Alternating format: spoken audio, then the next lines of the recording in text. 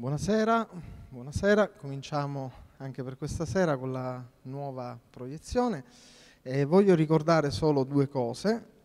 Come al solito ricordo di compilare il questionario, è importante, si trova al desk.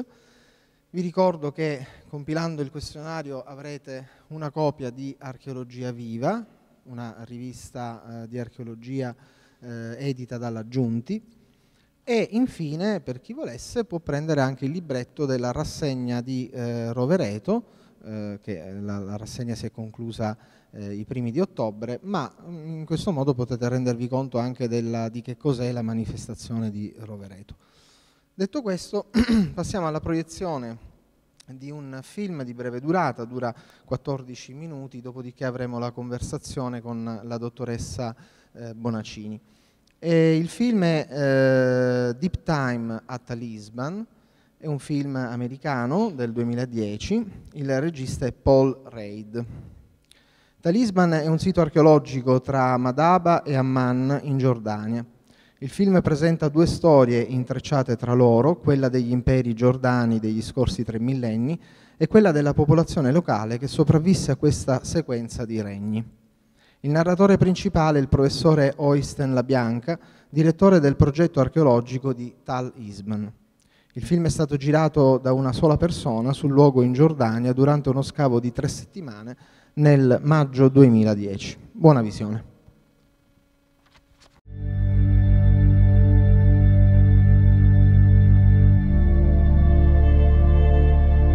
I think about the thousands of hours that we have put in to working here together with the local workmen of Hespan.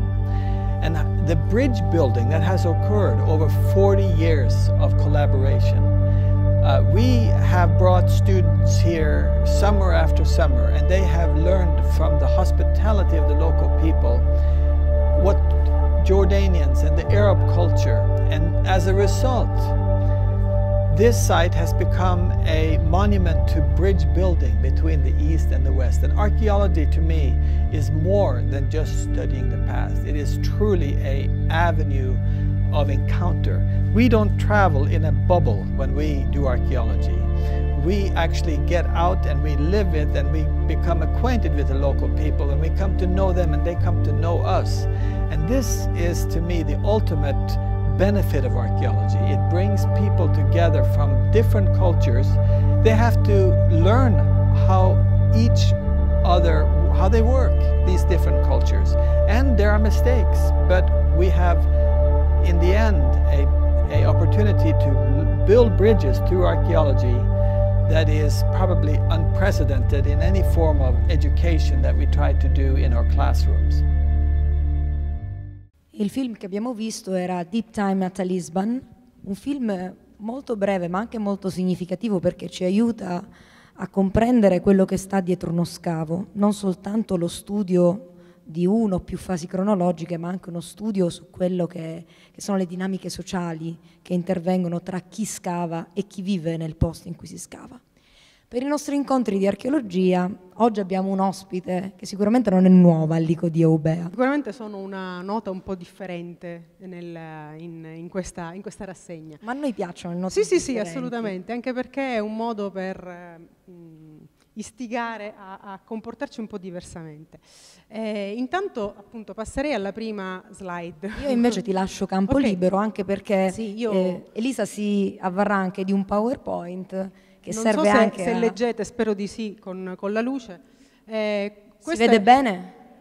Leggete. Perfetto. Allora, questo eh, forse si vede mh, mm, peggio il, la scritta in rosso, casomai ve lo dico io.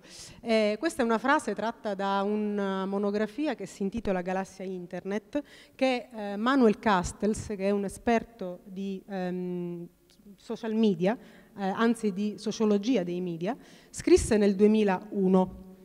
Eh, internet è la leva per la transizione a una nuova forma di società e con essa una nuova economia. Eh, è una frase sicuramente impegnativa nel, per il 2001 e forse soltanto adesso ci rendiamo conto di che cosa significhi internet. Però per renderci conto di che cosa significhi internet oggi, anche nella comunicazione culturale, eh, vi voglio fare vedere una serie di slide e commentarle appunto con voi. Allora, ehm, questa è la penetrazione di Internet nel mondo, così come è eh, diciamo, certificata eh, nel, per il 2013 con i dati del 2012. Noi abbiamo ehm, una popolazione globale di 7 eh, miliardi di persone e 2 miliardi e mezzo di questi sono connessi. Quindi abbiamo un 34,4% della popolazione del mondo che è su internet e si muove su internet. Ehm, vedete in realtà appunto anche i numeri, forse li vedete un po' male. Se passiamo alla slide successiva, passa, passa oltre. Eh, no, forse torna indietro Mauro, scusa, ho sbagliato io. Vi... ancora, ancora.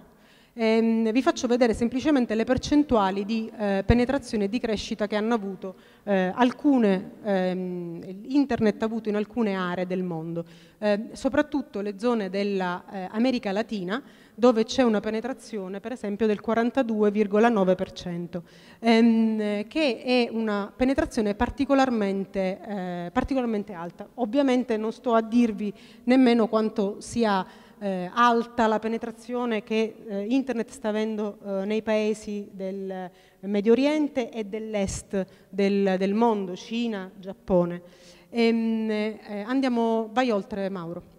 Eh, questa è una previsione di crescita che tra il 2013 e il 2018 eh, ha eh, internet eh, ed è una crescita sempre più eh, esponenziale. Ehm, mentre questo è un eh, dato ehm, che certificherebbe il peso economico di Internet se Internet fosse un settore economico eh, quantificabile. Eh, vedendo diciamo, il, il, grafico, in realtà Internet con un peso di 3 punti e, mezzo, 4 ehm, si piazza sotto i trasporti, mentre è superiore all'educazione, al settore della comunicazione, all'agricoltura, alle utilities, cioè gas, elettricità, eccetera, e mining, che sono le estrazioni minerarie. Cioè, in realtà, dal punto di vista economico, Internet è già un settore pesantissimo sul PIL del mondo intero.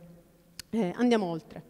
Questo invece è un ehm, prospetto che vedete su Facebook Facebook ha eh, raggiunto nel secondo trimestre del 2013 un miliardo e 155 milioni di persone.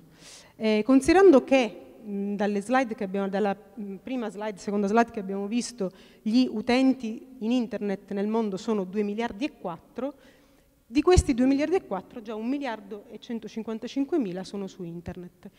Facebook, come vedete, diciamo, si parte dal ehm, quadrimestre, no, quarto quadrimestre del 2008 a crescere ed è una crescita esponenziale. Ehm, ok, andiamo oltre. Questo è appunto per dirvi molto semplicemente come bastano solo questi piccoli dati per capire quanto è importante essere su, su internet. E in genere per strategie di sviluppo locali e globali. Eh, perché chiunque di noi ormai si muove su internet per cercare una, eh, un hotel, per, per, fare un biglietto aereo, eh, per vedere cosa andare a vedere in una città rispetto a... magari poi la guida si acquista, ma intanto una prende informazioni su internet. Internet veicola soldi sicuramente, veicola informazioni. E ehm, eh, questo è invece una definizione che viene rilasciata da mh, questa pubblicazione che è stata realizzata dall'Unione Europea che si intitola The New Renaissance, cioè il nuovo rinascimento, del 2011, eh, in cui l'Unione Europea, che in realtà investe in cultura eh, e ha capito che si deve investire in cultura eh, almeno dal 2000, da quella che poi è definita strategia di Lisbona, ehm, ha eh, eh, capito che l'unica miniera che c'è in, in, Europa è proprio la cultura, il patrimonio culturale. Non abbiamo estrazioni petrolifere, tranne quel poco che possiamo avere qua, ma sappiamo come lo utilizziamo. Ehm, eh, si può investire soltanto nel patrimonio culturale. E questo, questa pubblicazione indicava la strada anche per uscire dalla crisi, che era già cominciata abbondantemente nel 2008, la pubblicazione del 2011. Ok, andiamo oltre. Questi sono, si vedono, non so se si vedono bene, i settori di investimento europeo, che ehm, in realtà sono i settori in cui l'Europa con le sue strategie ha deciso di, di investire dal 2000 ad oggi. Sono cinque settori e ve li elenco perché mi piacerebbe che voi insomma, vi interrogaste in quale ehm, continente l'Italia si è trovata negli ultimi 13 anni. Ricerca e università, inclusione sociale e culturale, sistema informativo, innovazione tecnologica e digitalizzazione del patrimonio culturale. Eh, questi sono i settori in cui l'Europa ha deciso di investire dalla strategia di Lisbona, prima fase, che è del 2000. Ok, andiamo oltre. Eh, vai, so, questa la devi cliccare di più, ok. Questi sono um, molto velocemente le caratteristiche per cui eh, un contenuto culturale ha un vantaggio ad essere digitalizzato. È facilmente riproducibile, si diffonde facilmente, sappiamo che ormai internet è virale, è efficiente, la qualità sappiamo che ormai è ottima ed è facilmente accessibile, democraticamente accessibile. Ed è ciò verso cui mira anche l'Europa, cioè che la cultura e il nostro patrimonio culturale sia democraticamente accessibile attraverso le piattaforme digitali a tutti. Ok, andiamo oltre. Eh, questi sono i numeri di eh, questo progetto, che non so se conoscete, è uno dei primi, dei più grossi progetti buttati in campo da Google, eh, che oltre ad essere un grande motore di ricerca è anche impegnato nella valorizzazione del patrimonio culturale mondiale. Questo progetto si chiama Google Art Project ed è gran, un grande contenitore di gallerie museali che ehm, è partito il 1 febbraio del 2011 con eh, 17 musei. Eh, si vedeva, non so se avete presente la tecnologia di Street View, quando con Google possiamo vedere diciamo, il, le strade, quasi i numeri civici eh, delle, eh, dei negozi ehm, o, o, altro. E, ehm, e in Street View si sono realizzate le gallerie di alcuni musei, 17 i primi, tra cui l'unico italiano che partecipò è stata la Galleria degli Uffizi, per cui si riusciva a vedere la Galleria del Vasari in modalità Street View, cioè tu ci entravi dallo schermo del computer e riuscivi a visualizzare ad altissima risoluzione le opere esposte nella galleria. Ad oggi, quasi, io questi dati li ho presi il 23 di ottobre, i musei da 17 sono diventati 285 le opere sono passate da 1061 a 49.000, quindi quasi 50.000 opere digitalizzate e gli artisti presenti erano 486 due anni e mezzo fa e adesso sono 8.204. Ehm, rispetto alla Galleria degli Uffizi sono entrati altri musei italiani che hanno deciso di abbattere i vincoli legati anche al copyright delle immagini, così come d'altro canto ha fatto anche eh, la Galleria degli Uffizi sin dall'inizio, e hanno deciso di esporre le loro opere perché si rendono conto che piuttosto che guadagnare 10 euro in più su un'immagine per pubblicarla, magari la visibilità della loro galleria ha un riscontro in, in, economico differente eh, grazie appunto alla piattaforma di internet. Sono entrati i Musei Capitolini di Roma, la Fondazione dei Musei Senesi e Palazzo Vecchio a Firenze, Museo di Strada Nuova a Genova, Museo Pol di Pezzoli a Milano, Museo Archeologico Nazionale di Ferrara, Reggia di Venaria Reale, Museo Diocesano di Milano e Palazzo Grassi a Venezia. E eh, è un modo di comunicare ormai completamente diverso. E affidarsi a Google significa anche questo. Significa che si ha una visione di ciò che l'essere su internet comporta. Vi dico che gli Uffizi hanno un sito ufficiale che si chiama www.polomuseale fiorentino, perché in realtà anche in questo molti dei nostri decisori culturali ehm, non erano preparati per fare i dirigenti eh, o diciamo che tendenzialmente non capivano granché di marketing museale. Il marchio Uffizi era stato preso da qualcun altro che aveva registrato il marchio per il sito www.uffizi.it, che è un sito non istituzionale di bigliettazione. E quindi in questa maniera hanno rubato soldi, diciamo, agli Uffizi. Da quando gli Uffizi si sono messi su Google Art Project, che reindirizzava correttamente al sito istituzionale www.polomuseale fiorentino, si è passati da 3.000 visite al mese che avevano ha una media di 500 visite al giorno, cioè 15.000 visite. E, ed è ovvio che questo ha avuto un impatto economico anche dal punto di vista proprio della bigliettazione online. Questo soltanto in, nei primi eh, otto mesi. Eh, andiamo oltre. Eh, questa è un'altra... Eh, ora, per farvi un po' deprimere, vi faccio capire un po' come siamo messi dal punto di vista italiano. Questa, eh, questa scheda vi fa vedere l'Italia rispetto agli altri paesi europei e la sua crescita in, in, internet fino al 2006 e dal 2006 al 2010. La crescita media la vedete sotto, quella dell'Unione Europea, che è circa il 65%, cioè significa che una media del 65% della popolazione europea accede a internet. Noi abbiamo una crescita che è inferiore alla Spagna, alla Polonia, alla Croazia, a Cipro, appena poco superiore al Portogallo, eccetera. Però questo è un dato ancora del 2011 e vi dico che non siamo migliorati. Andiamo oltre. Questo è un altro dato del 2011, vi, ho messo diciamo, in prima linea soltanto appunto, gli ultimi paesi, in realtà noi abbiamo una penetrazione del 51,7%. Sempre all'inizio vi avevo fatto vedere quella slide in cui si vedeva che nel Sud America la penetrazione di internet era del 42,9%. Sud America stiamo parlando di Brasile, Argentina, Venezuela, Cile. Noi abbiamo appena 9 punti in più rispetto al Sud America e saremmo ufficialmente un paese di, di, del, del, non del terzo mondo, invece saremo, siamo terzo mondo e vi dico perché.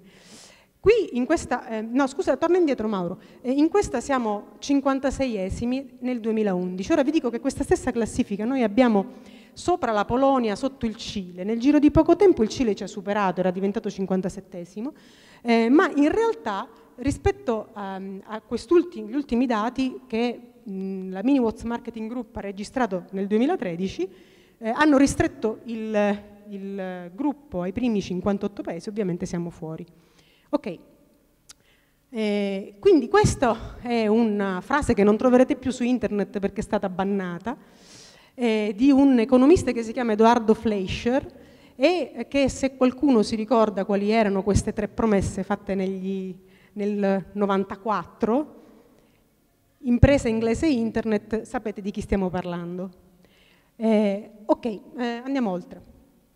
Eh, queste si vedono, si vedono, male, comunque sono gli, eh, i decreti che hanno causato un eh, ritardo nella digitalizzazione del paese, nella distribuzione delle infrastrutture tecnologiche, cioè proprio della rete, tale per cui il 51% della popolazione italiana accede ad internet, cioè significa alla fine uno su due un'impresa su due, una, un alunno su due, eccetera, eccetera. Eh, tutti questi sono i decreti che sono stati fatti per vincolare piuttosto che per liberalizzare l'accesso ad internet. Dalla legge Gasparri in poi, fino praticamente a, al piano digitale per l'Italia che nel 2011 si diceva essere stato attuato, non era vero, dal ministro Paolo Romani, che aveva fatto di tutto da ex uomo di Mediaset, ovviamente, affinché l'Italia non andasse sul web, perché sul web ci sarebbe andata, come ci va, la pubblicità. Quindi non conveniva all'Italia essere sul web. Gli ultimi due decreti, decreto sviluppo, di cui avete sentito parlare, che è stato firmato nell'agosto del 2012, l'altro ieri, eh, prevedeva l'istituzione, stiamo parlando di, del governo Monti, Finalmente prevedeva l'istituzione dell'Agenzia per l'Italia Digitale, che l'Europa ci chiede da tantissimo, e prevedeva 150 milioni per la diffusione della banda larga. Ancora una volta, col decreto sviluppo bis del dicembre del 2012, misure urgenti per la crescita con le tecnologie per la comunicazione. Vai Mauro. Dopodiché il decreto del fare, di cui ovviamente avete sentito parlare. Diciamo che quindi dall'agosto del 2012 ad adesso forse qualcosa si è cercato di fare per colmare questo gap. Diciamo che si è eh, tentato di, o si tenta di investire dei soldi finalmente nella distribuzione della banda larga e delle infrastrutture tec eh, tecnologiche, ma in realtà col decreto poi crescita 2.0 sulla diffusione della banda larga, dei 150 milioni che erano stati previsti dal governo Monti, 20 sono stati nuovamente tolti e dati alle tv locali, perché pare che comunque senza tv non si riesca a vivere in Italia. E, ehm, e questa frase che, che ho scritto qui sotto, internet e lo sviluppo economico e sociale che da esso dipende appaiono sempre in questo Paese una priorità di nome ma non di fatto, perché in realtà si trova sempre qualche escamotage per eh, evitare di investire veramente in queste risorse.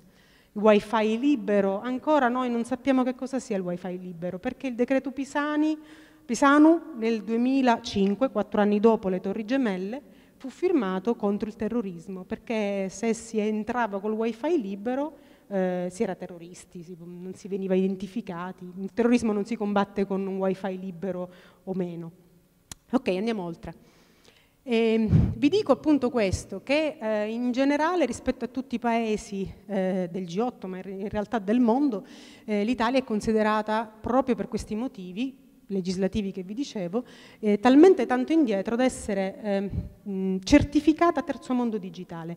Eh, ed è una cosa che è venuta fuori nel G8 del 2011, per cui eh, fu commissionata una ricerca per capire perché l'Italia è un'anomalia.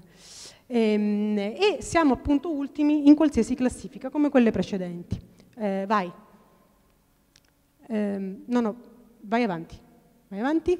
Ok, questa eh, è l'indagine che è stata effettuata subito dopo appunto quella perché l'Italia è un'anomalia del G8 ed è una mh, fotografia di come l'Italia non faccia parte, non abbia fatto parte fino, l'avete visto, vi ho, vi ho detto le date, ancora nel 2011 si parlava di un piano digitale per l'Italia che non era mai stato realizzato. E le, i decreti sono da a partire dall'agosto del 2012 L'Italia, insieme alla Libia e a pochi altri paesi che si affacciano sul Mediterraneo, non risultava avere, a maggio 2011, alcuna strategia nazionale digitale in atto. Eh, mancano l'Italia la Libia, poco altro, e praticamente forse la Groenlandia, non saprei, insomma, va. Cioè, le, vedete come tutti i paesi del mondo abbiano, inclusa l'Africa, abbiano naz- na- strategie nazionali attive e, non, e nemmeno appunto in progress. Eh, ok, quindi questo spiega perché veniamo dichiarati eh, peggio dello Zimbabwe dal punto di vista dell'interesse della politica alla eh, presenza delle infrastrutture. La priorità data alle, alle tecnologie dell'informazione e della comunicazione a livello governativo è inferiore rispetto allo Zimbabwe. E questo dobbiamo ringraziare le famose 3I a partire dal 94. Eh, ok, eh, questo è per farvi dare un'idea di come già siamo messi male in genere, già siamo terzo mondo digitale e eh, l'Italia meridionale è il terzo mondo del terzo mondo digitale. Ok? Eh, e questa è una slide molto ehm, recente che è stata pubblicata da KWiFi eh, in realtà eh, fa vedere quanti sono gli hotspot di wifi presenti in, in Italia, ehm, mentre invece quei dati che vedete scritti in alto, che sono, vengono fuori da una ricerca commissionata dalla Camera di Commercio di Catania Demopolis sui siciliani, praticamente eh, noi abbiamo solo 2 milioni e mezzo di siciliani su 5 milioni 2 milioni e mezzo non l'ha mai utilizzata, cioè il 52% dei siciliani non ha mai utilizzato al 2011 la rete e tendenzialmente, vedete le cifre, solo il 9% si, si connette occasionalmente, il 25% abitualmente, il 14% con uno o due volte la settimana. Un siciliano su quattro 2000, a fine del 2011 si collegava abitualmente. E questo significa che in realtà non si è capito che cosa è internet. Internet è la chiave per entrare in questo nuovo mondo, nell'economia, nel, nel lavoro, anche nel mondo del lavoro. È quello che eh, crea ormai eh, un'emarginazione sociale ed economica profonda, quello che viene chiamato il digital divide, cioè il divario digitale, che è l'analfabetismo di oggi, l'analfabetismo digitale. Ok, eh, qui ci, se leggete appunto eh, sempre, sono frasi tratte sempre da quel libro di Manuel Castells del 2001, che già sapeva che cosa avrebbe significato effettivamente il digital divide. Eh, sapeva che cosa avrebbe significato in genere per chi non era su internet ovviamente. Essere con, sconnessi o superficialmente connessi a internet equivale a essere marginalizzati nel sistema globale. Lo sviluppo senza internet sarebbe come l'industrializzazione senza elettricità nell'era industriale. Ok, eh, vabbè, questa è una ricerca che ho fatto, che ho fatto io uh, l'anno scorso, che ho pubblicato sulla visibilità sul web del patrimonio culturale siciliano, per evidenziare le criticità enormi che abbiamo nel comunicare il nostro patrimonio siciliano sul web. Eh, ok. E in generale avevo anche evidenziato come fossero visibili i siti web dei musei rispetto ai musei. Cioè in una scheda su un portale culturale, turistico, quello che fosse, se veniva indicato Parco archeologico della Valle dei Templi descrivendo di che cosa si trattava, contavo anche quante volte veniva citato il sito web, cioè quante volte si veniva rimandato al sito web istituzionale. In realtà pochissime.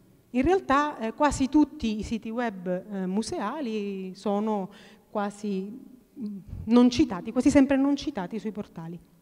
Eh, ok.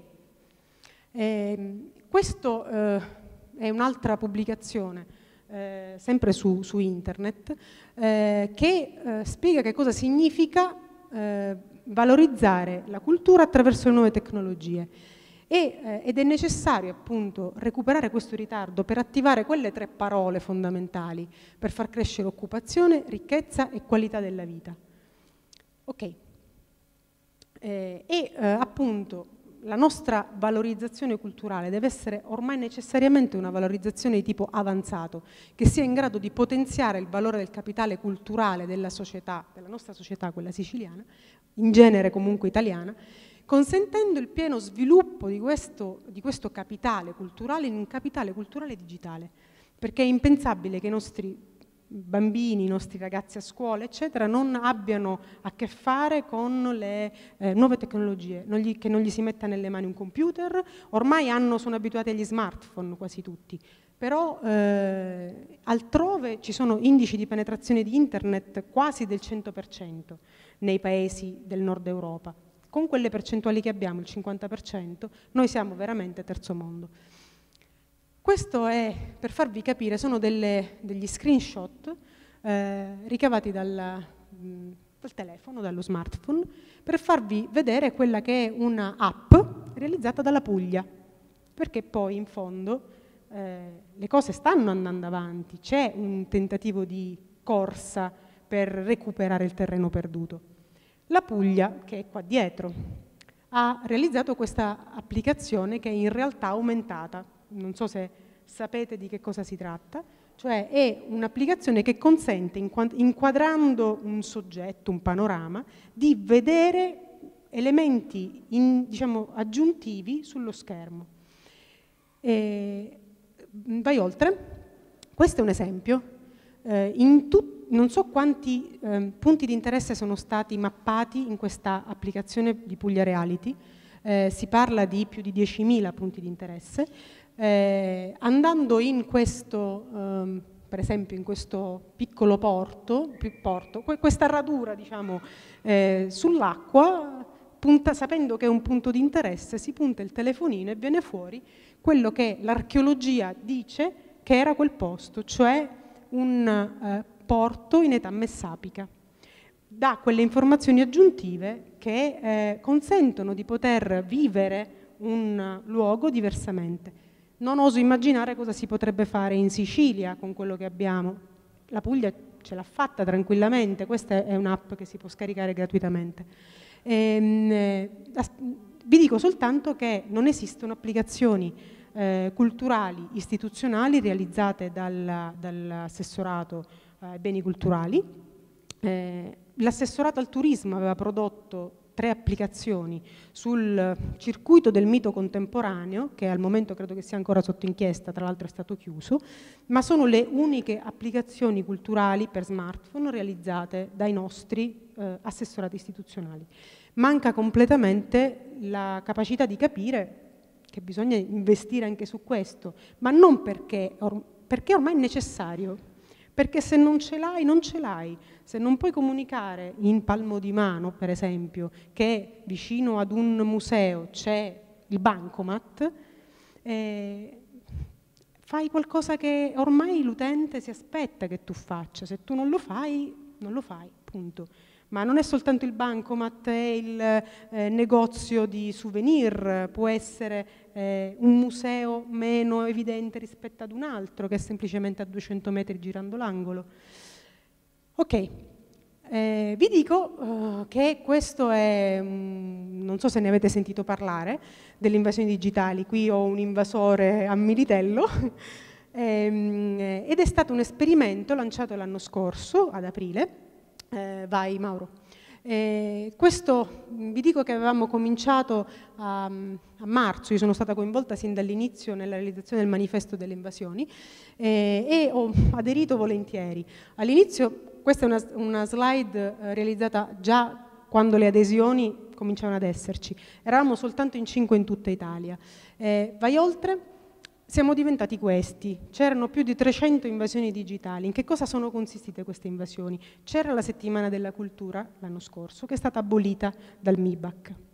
E qualcuno, in questo caso un ragazzo di Salerno, Fabrizio Todisco, ebbe quest'idea coinvolse un, un'altra persona che si chiama Gianfranco Dallara, che si occupa di marketing turistico del territorio, e l'Associazione Nazionale dei Piccoli Musei. E cominciò appunto a coinvolgere ognuno di noi, piano piano, altre persone.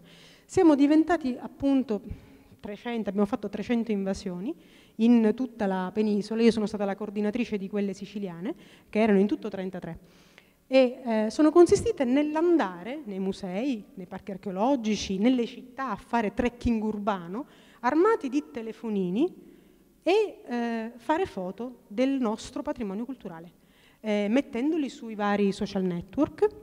Eh, vai Ma Mauro. Eh, e questa è una frase bellissima su un blog, quando la cosa ha cominciato a creare scalpore, perché abbiamo fatto rumore parecchio. E, ehm, appunto, come, come leggete, sembrava che l'Italia fosse cosparsa, da, cioè fosse affetta da un virus. E, ehm, è stata un'esperienza eh, particolare perché si sono messi di mezzo appunto i social network, Twitter, Facebook, Instagram e Pinterest. Anche se Facebook, che soltanto da giugno usa il tag, eh, non ci ha consentito di conteggiare effettivamente il risultato delle, queste, della partecipazione a queste invasioni pur essendo il social più utilizzato. Eh, andiamo oltre. E queste sono le invasioni realizzate in, in, Sicilia, sono 33, alcune erano a Palermo 4, a Catania ce n'erano 5, a Siracusa ce n'erano 3, sparse un pochino, eh, un pochino ovunque. E vai? E queste sono le locandine, perché ogni, ognuna delle invasioni aveva la sua locandina con il marchio delle invasioni digitali, il giorno all'interno di quella settimana della cultura di cui ci siamo riappropriati in qualche modo ehm, e eh, si faceva girare appunto si, faceva, si chiedeva alle persone di partecipare a queste invasioni. Eh, andiamo? Questa è la lettera che è stata eh, mandata dall'assessore Marilita Sgarlata a cui ho chiesto eh, il patrocinio ed è stato dato il patrocinio alle invasioni digitali, è stata l'unica regione a dare il patrocinio. Il MIBAC si è svegliato dopo e ha cominciato a segnalare gli eventi delle invasioni. Eh, quest'anno il MIBAC affiancherà eh, il gruppo degli invasori digitali che hanno presentato il loro progetto ad una grossissima conferenza internazionale che è stata a Marsiglia in questi giorni e che ehm, hanno dimostrato come i cittadini si possono riappropriare del proprio patrimonio anche attraverso le nuove tecnologie, perché chi andava a fare il trekking urbano a Nicosia o chi a Militello faceva eh, Santa Maria la Vetere, eh, ha dato la possibilità a quel pezzo di patrimonio culturale di essere visibile in maniera globale se non planetaria, potenzialmente planetaria. Andiamo oltre.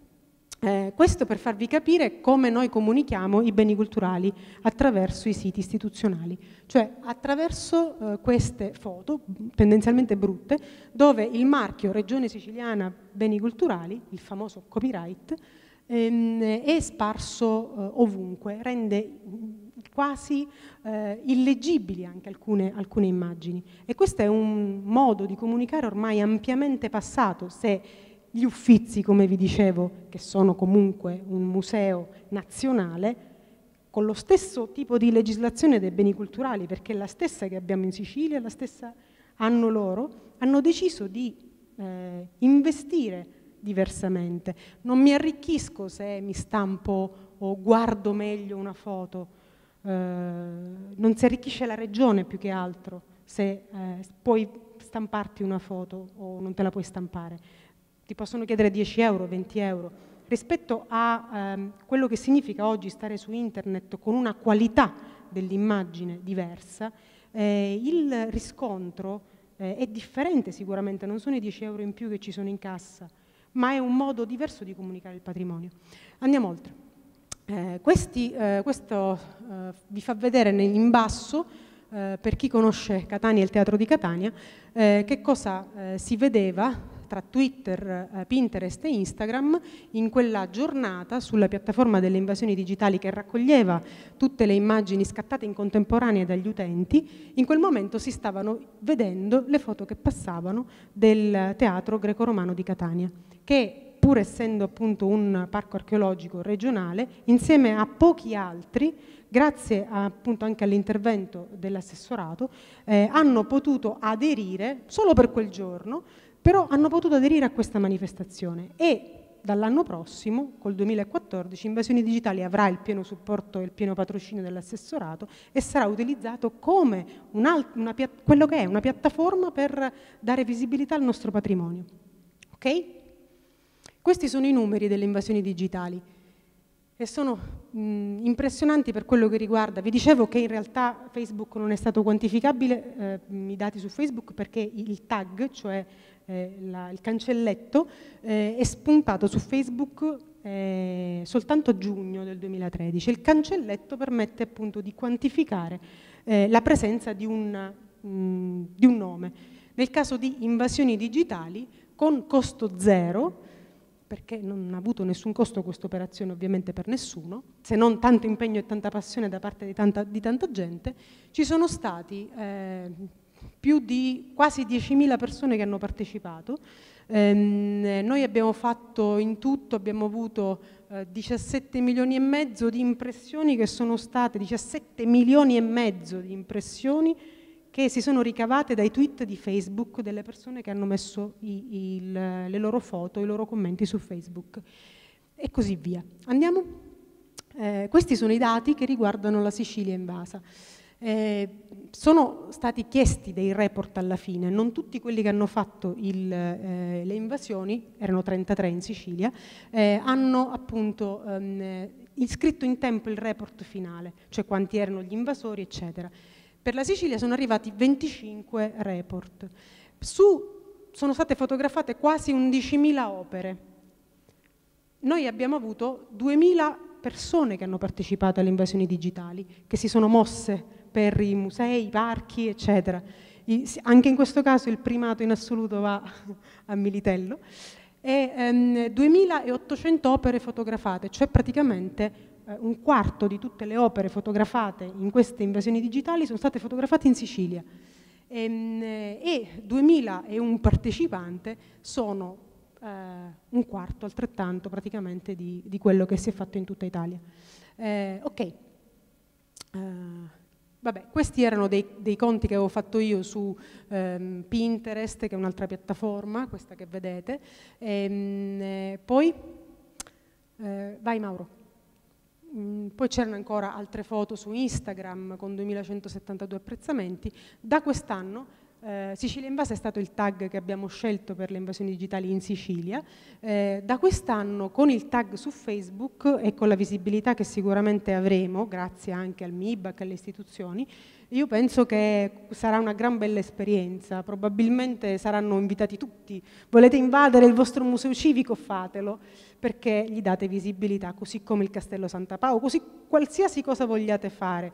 Spero che grazie a Facebook tutte queste iniziative verranno fuori. Siete autorizzati ad andare nelle soprintendenze, ad andare dai direttori dei musei a dire in tal giorno, probabilmente sarà sempre nell'arco della settimana della cultura 2014, voglio organizzare un'invasione, siete autorizzati. Io sarò di nuovo la responsabile delle invasioni, ero impazzita già l'anno scorso, probabilmente sarà peggio quest'anno, però eh, è stata un'esperienza unica, non è mai esistita una cosa del genere altrove, eh, in, nel mondo, vi dico, perché è la partecipazione dal basso di noi cittadini che attraverso le nuove tecnologie, quando andiamo fuori all'estero e fotografiamo il patrimonio culturale che hanno esposto nei musei, eh, e da noi non lo possiamo fare, è un modo di riappropriarsi no, del, del, nostro patrimonio, di poter dire eh, io ho questo a casa mia. Non necessariamente quando mi trovo fuori devo fotografare per forza il frontone del Partenone, magari ho un bellissimo portale a Santa Maria la Vetere a Militello. E questo è tutto.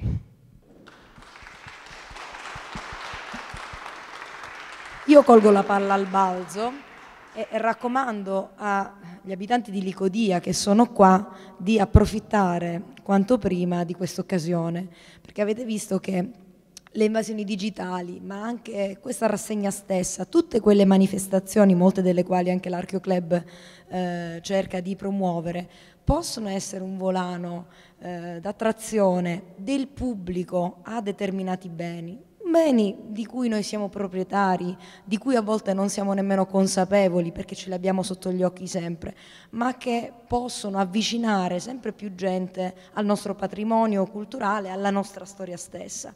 È importante saperlo, è importantissimo anche raccontare esperimenti del genere perché fanno vedere come realtà eh, virtuose come quelle delle invasioni digitali sono veramente a portata di clic, le può fare chiunque e chiunque può contribuire in maniera decisiva anche al successo. Quindi, come dici tu, è una rivoluzione che parte dal basso. Assolutamente sì. Benvengano queste iniziative. Penso che si verrà a sapere quando organizzeremo la prossima. Noi ci terremo comunque sempre informati.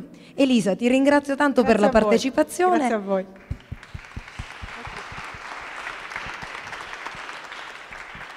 E di adesso vorrei, ehm, vorrei lasciarvi una decina di minuti per riposarvi e attendere il film che verrà proiettato alle 8 circa, che è un computer di 2000 anni fa. Un film importantissimo che ha vinto molti premi all'interno di festival e rassegne di settore, non soltanto in Italia ma anche in Grecia, negli USA, in Francia e quindi vi invito a prepararvi per godere appieno dello spettacolo.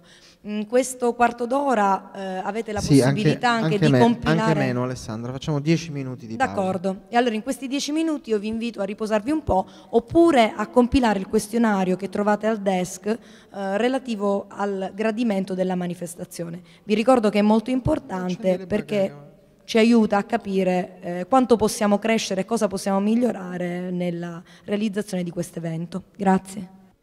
Allora, riprendiamo con uh, l'ultimo film di questa sera.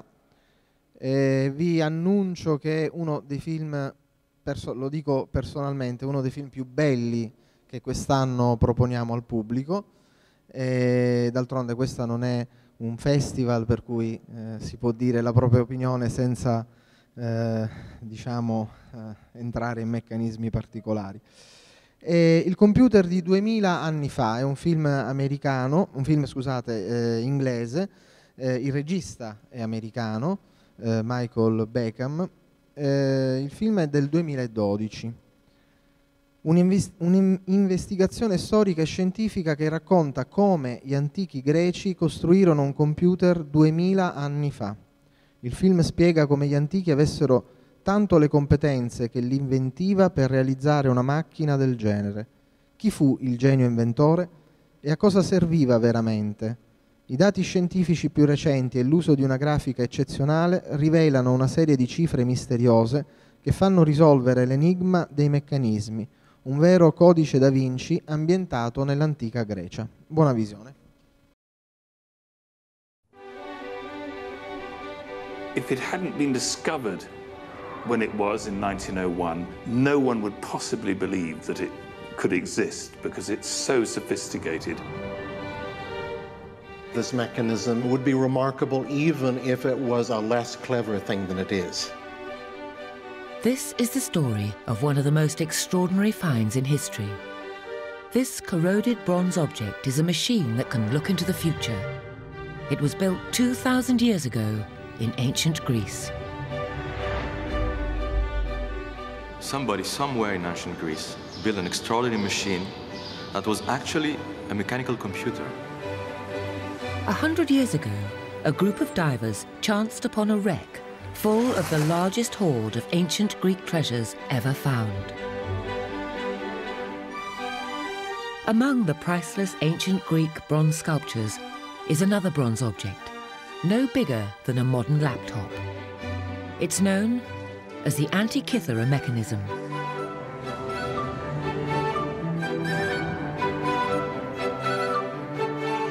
As a team of scientists try to unravel the secrets of the Antikythera mechanism, we're taken on a journey that charts the fall of one great ancient empire and the rise of another.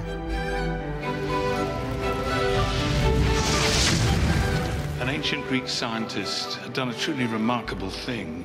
He'd found a way of using bronze gear wheels to track the complex movements of the moon and probably all the planets as well. It was a mechanism of truly staggering genius. This is the story of the world's first computer.